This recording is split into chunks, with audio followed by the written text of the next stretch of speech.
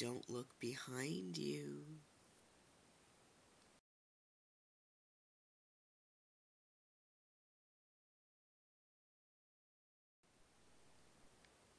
Number one.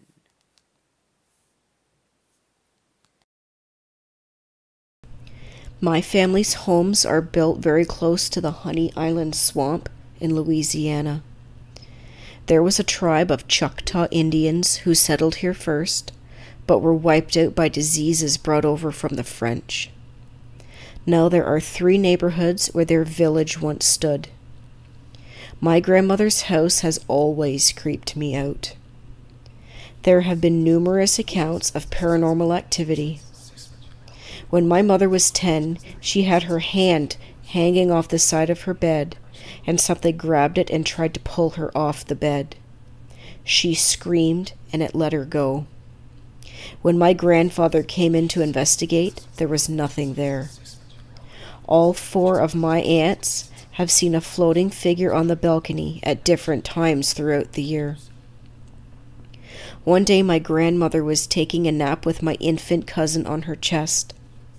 She woke up, looked over to the clock, and saw a baby on the floor. She reached down and made sure my cousin was still on her, and he was. A transparent lady in deerskin walked in, picked up the infant, and walked out. At my house, I saw a white face in my window and thought it was my father trying to scare me. I went to tell my mother to get him to stop, and she said that he was in the shower and had been for the last ten minutes. This freaked all of us out, and my dad went out in a towel with his pistol to see if he could find anything. There were no footprints or ladder marks under my window. Years later, I had a friend staying over. In the middle of the night, she woke up screaming. She said that there was a man that touched her face and called her beloved in Choctaw. All she could see was his face and the hand that touched her, and they were both a transparent white color. We saged the entire house and didn't have any issues for almost a year. I left the sage that we used on the front porch as a kind of ward. It worked really well. We had no activity at all until my mother threw the sage away. I had some cedar boards in my room that I was lining my window seat with that were stacked on top of a storage bin. That night, they were violently thrown off and landed all around my bed, narrowly missing me. We called a priest, and he came out and did some kind of blessing to get rid of everything, but it didn't work very well. A week later, I saw a black mist manifest in the hallway. I was home by myself, so I grabbed my dogs and ran outside. We are still having issues, but at this point, we're just learning to live with them. My mom hates how the sage smells and won't let me do it again, even though that is what worked the best.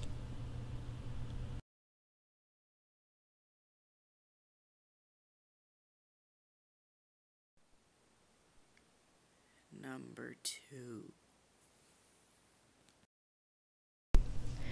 When I was a kid, we lived with my grandparents for a while, and they had this house that had been in the family for like a 120 years. It had been updated and so on, but it was always built to look the same. Now, the main hallway linked up to the living room, and if you sat in the big blue chair in the living room, you were the only one with a view of the hallway, and this was my favorite spot to sit because the chair was huge and comfy and it smelled like my grandpa. And I could also see my friends from it. What friends? Oh, the shadows that walked up and down the hallway. I'd sit in the chair for hours while my great grandparents babysat me and my little brother, and I'd just talk to and watch my friends go up and down the hallway. They'd wave, and even though they were just a solid shadow, I swore I could see them smiling and talking to me. They looked like they were walking into a bedroom, But then one day I noticed that they could never actually pass the door's thresholds. Their body would just slowly fade away as they passed into the next room. I could never see them anywhere else in the house except that hallway. I don't remember what really happened to freak me out, but my mom said that one day I started insisting that they were being mean because they get mad at me for not coming into the hallway or rooms with them.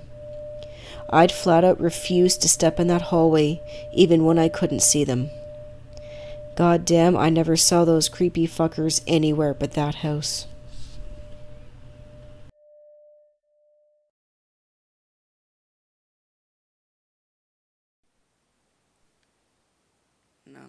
Three.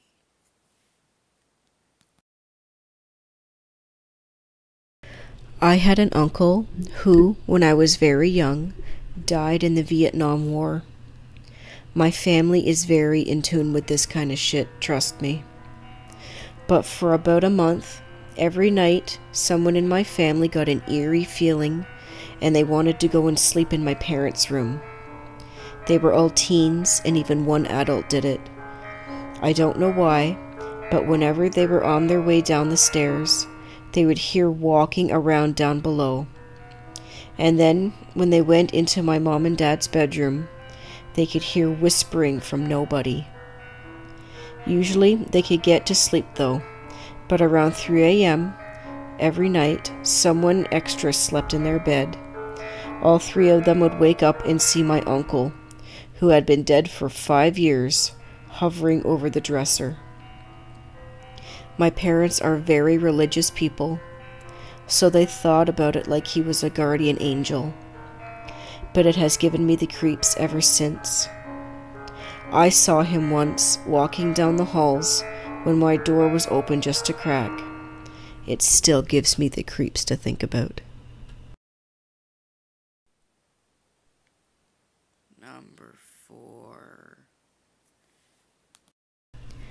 When I was about 10 or so, I lived in a house that my family had been renting from some other family. One time, the living room TV would make the sound of turning on every night for about a week, and apparently I was the only person who would hear this. At the time, I was sharing a room with my brother that used to be the original living room and was right next to the kitchen, and there was no door separating the two rooms. I would get up and go towards the living room, seeing the light that is there when a TV is usually on, but there was no sound of a show or anything. When I actually slept really close to the living room, the light would just go away, not even a sound of the TV turning off. I looked around for somebody in the living room every time, but no one was ever there. My entire family was still sound asleep. I remember mostly being more mad than scared because I just really wanted to see what was so damn interesting on the TV that the ghosts kept watching late at night. And yes, I do believe in ghosts. Number five.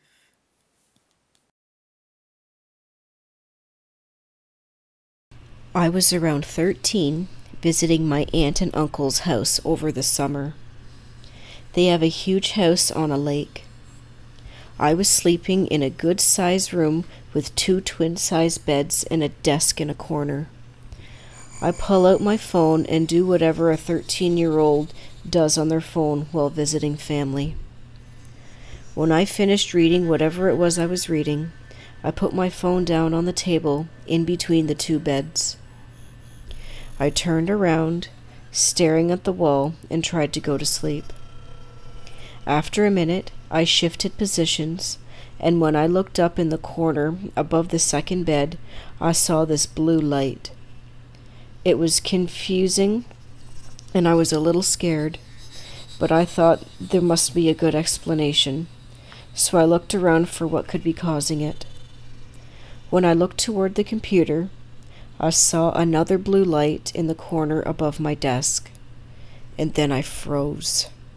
It was a person, a blue, transparent ghost, crouching down in the corner with its face looking downward. I could not see much details, but it was definitely a person. The computer was black, and there was no lights on anywhere in the room. All the windows were shut, and after a minute of staring at my eyelids, I mustered up the courage to bolt out and out of the room. I told my mom I saw two blue lights in the room, and when I went back to show them, they were both gone. The computer had been also shut off, and it was my uncle's work computer, and he didn't want anybody using it. And only the other electronics in the room were my iPhone and a lamp on the nightstand. To this day, I have no idea what it was, and I don't want to know. It scared the shit out of me.